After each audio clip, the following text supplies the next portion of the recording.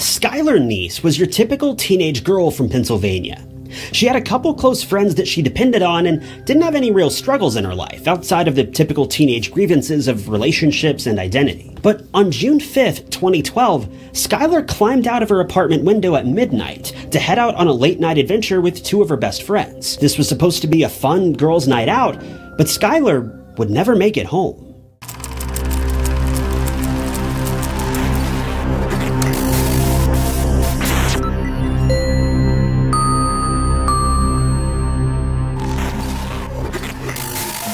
Skylar Neese was a young girl who'd never really made any enemies. She was incredibly smart for her age, not just smart, but wise as well. She was an honor student at school, and all of her teachers knew that she had a very bright future ahead of her. She never got into much trouble and certainly never gained any unwanted attention from her peers. She was about as clean cut and honest as a teenage girl could be. One of Skylar's favorite activities was reading. She could lose herself in a book for hours, only to snap out of it long past her bedtime, not even realizing she'd spent her whole afternoon in a fairy tale. Skylar also had a job at Wendy's that she appears to have loved, as she never missed a day of work, no matter the cost. For a teenager to be so dedicated to a job at a fast food chain, it just further shows you that Skylar was a girl of character.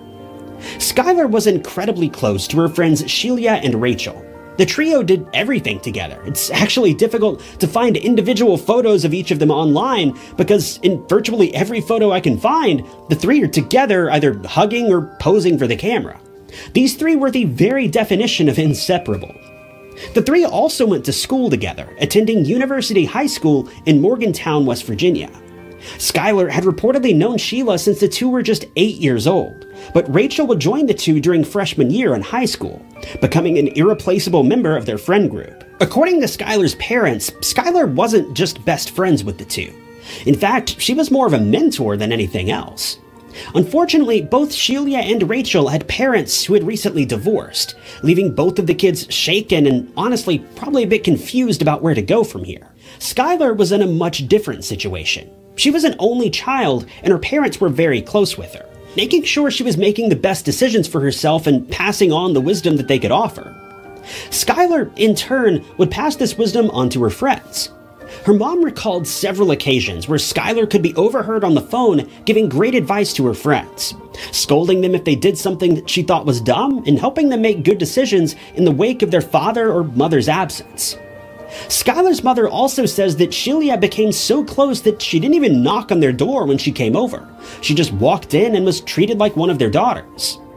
The only rift in the relationship between Skylar and Shelia was that Shelia didn't come from a particularly religious family.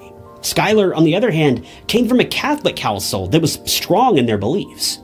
To an extent, Skylar envied Shelia's freedom and ability to do virtually whatever she wanted. But it was this very freedom that would ultimately lead to Skylar's downfall.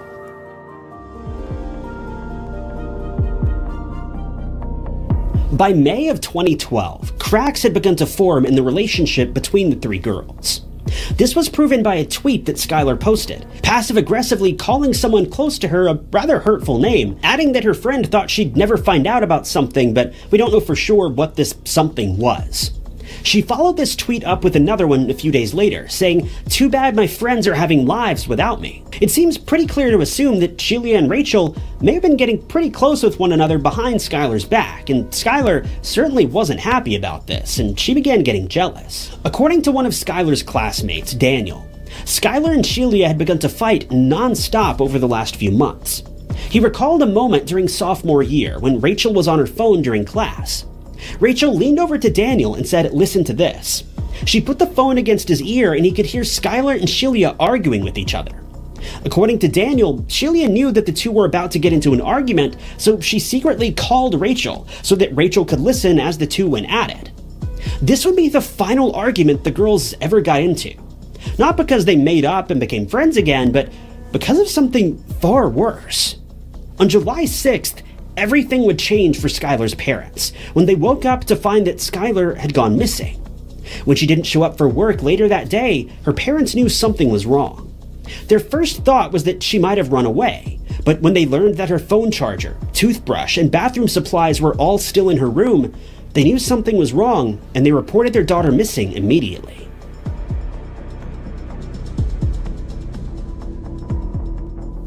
CCTV footage would soon reveal that Skylar had snuck out of her apartment's bedroom window around midnight on July 5th.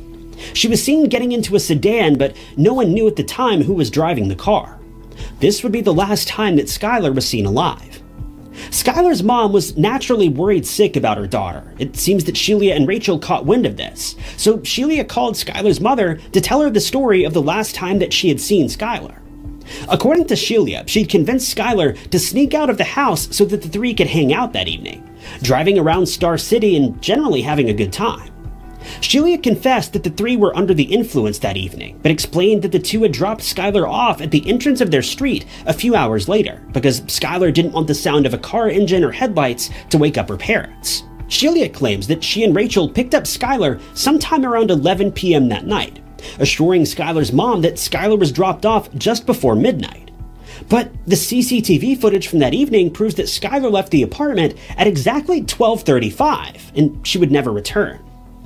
Shelia would show up to Skylar's home in the following days to help search for Skylar and try to round up any clues or evidence, but there was none to be found. Rachel was absent during this time because she'd been sent off to Catholic camp for the summer. It was around this time that rumors had begun to circulate around the school and local neighborhoods, suggesting that the girls had actually been to a party that night and that Skylar had overdosed. These rumors grew so concerning that the local police were forced to take them seriously, with one supposed witness telling a police officer that Skylar had overdosed and the partygoers had panicked, so they hid her body. The only problem with this story is that one detective had a gut feeling that this was nothing more than a lie.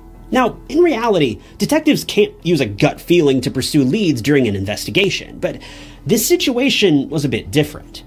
The investigator says that when she spoke with Shelia and Rachel about the evening of the supposed party, the two girls shared the exact same story.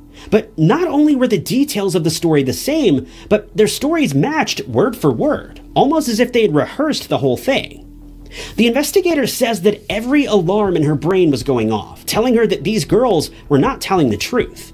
But without any evidence of foul play, police couldn't do anything other than continue with their investigation. When police began to dig into Skylar's social media history, they quickly uncovered that the afternoon before she vanished, she posted several derogatory marks about Shelia and Rachel. This made it quite clear to police that something was going on between these girls, and it seems incredibly unlikely that they had all happily attended a party together just a few hours later. But this is when one investigator had a great idea that may have just helped to blow the case wide open.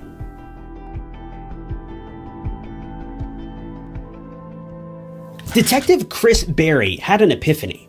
He'd been in the police force for a number of years, and he recalled that many criminals will often brag about their crimes after the fact, hoping for clout or respect from their peers. Even though the police didn't have any hard evidence to prove that Shelia and Rachel were involved in Skylar's disappearance, he came up with a plan to try to lure the girls into confessing. That is, if they were in fact involved. He decided to create a fake online profile, disguising himself as a teenage boy who went to West Virginia University. He befriended both Shelia and Rachel on Facebook and Twitter, allowing investigators to have virtually limitless access to both of the suspects' social media accounts. It was a few weeks after this that detectives noticed a strange post that was made by Shelia. In the tweet, she said, No one on this earth can handle me and Rachel. If you think you can, you're wrong.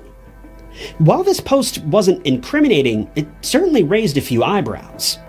Around this same time, though, police feared that their cover might soon get blown. There had been rumors circulating on social media claiming that Shelia and Rachel were behind Skylar's disappearance. In some instances, people had directly tweeted at the girls, outright accusing the girls of taking Skylar's life. As days passed by, the two retreated from social media a bit, putting a huge damper on the probe that officers had been performing. But then, they struck gold. As they were searching through Shelia's social media accounts, they noticed a photo that caught them off guard. She had posted an image of her car, and the car bore a striking resemblance to the one that had been picking Skylar up that evening. Now, this may not sound like much of a breakthrough considering that Shelia had already told Skylar's mother that the three had been out partying that night when Skylar vanished. But for investigators, this was now concrete photographic proof that Shelia was the last person to have seen Skylar alive. Police now cross-referenced CCTV footage from all over town, searching for footage of Shelia's car near the locations where she claimed the three had been that evening. Turns out they hadn't visited any of the locations they claimed they had. In fact, Shelia claimed that they'd been hanging out on the eastern side of the city that night, but CCTV footage placed them on the west side of town. While this certainly proved that the girls were lying, it still wasn't enough to lead to any charges being filed. But that's when the unthinkable happened, and one of the suspects opened up about what had really happened that night.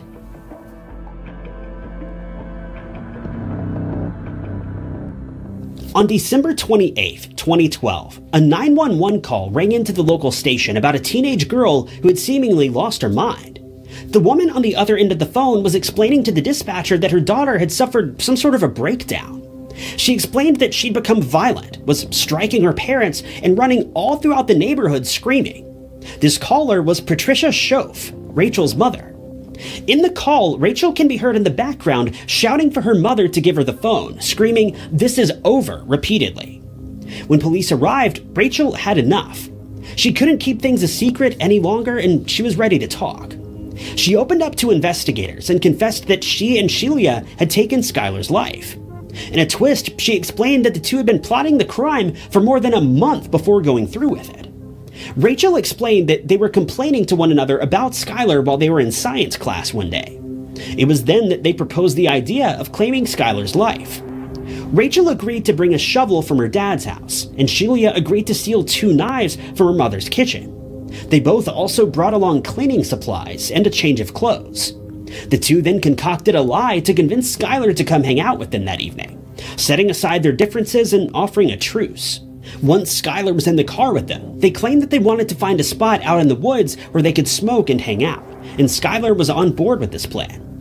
All three headed off into a patch of woods. Skylar was taking the lead, with Rachel and Shelia walking close behind her. Then, without notice, the two pounced and began attacking Skylar. She broke free of the two at one point and tried to run away, but the girls eventually caught up and overpowered her, striking her time and time again. The only thing Skylar was able to ask her attackers before she lost her life was why? When the two girls were taken to trial, they were asked this exact question why? According to Rachel, their motive was simple they didn't like her. This was the only excuse she ever gave for their actions. Needless to say, both girls were charged with homicide.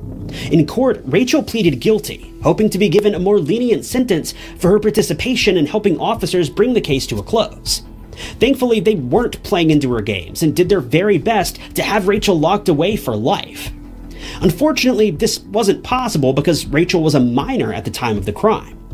Thankfully, officers won a bid to have her tried as an adult, and she was eventually sentenced to 30 years in prison, with the possibility of parole after 10 years, meaning she's eligible to apply for parole right now.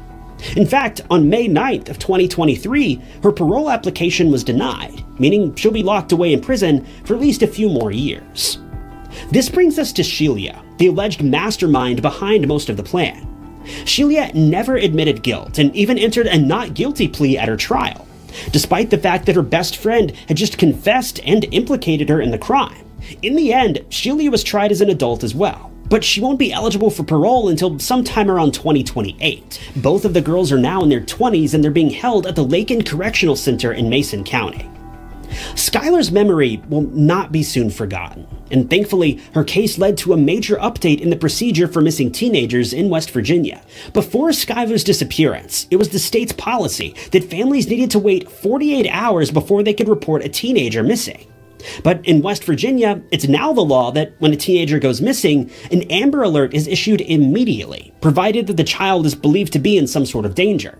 When this bill was proposed to the West Virginia House of Delegates, the law was approved with a 98 to 0 vote, making it an unprecedented success.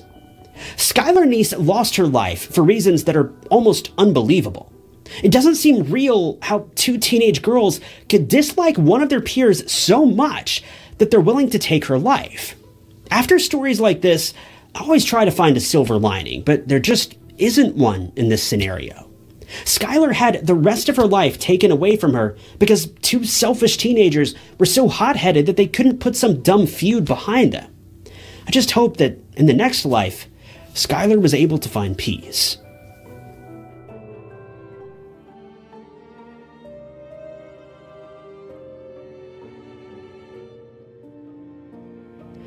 Thank you guys so much for tuning in to another episode of True Crime Stories. If you enjoyed this video, check out this other interesting case I covered, and don't forget to subscribe. It's totally free and keeps you up to date with all of my future videos. You can also click that join button below to help support the channel and see new videos long before everyone else does. But my name is Ty Notts, and I'll catch you guys in the next one.